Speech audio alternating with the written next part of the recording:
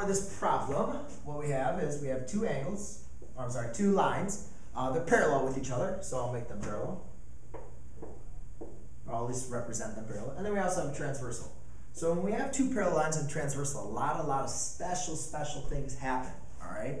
And so what we're gonna do is we're gonna look at these two and say, well, what's so special? What's happening? Well, there's a couple things. We have same side, um, interior, add up to equal 180. Um, alternate interior angles uh, are equal to each other. Alternate exterior angles are equal to each other. And what was the other? And corresponding angles are equal to each other. So if you kind of forgot all those angles, I'm going to work on alternate exterior and interior to show you what those look like. Because um, I have a couple other videos on explaining what all the angles are. But to solve this problem, um, what I would notice is these are alternating exterior angles. The reason why I know they're alternating exterior angles is they're alternating on which side of the transversal they're on. One is above it and one is below it. Then from there, you can say both are exterior, they're both outside of my parallel lines. Hence, they're alternating interior or alternating exterior angles.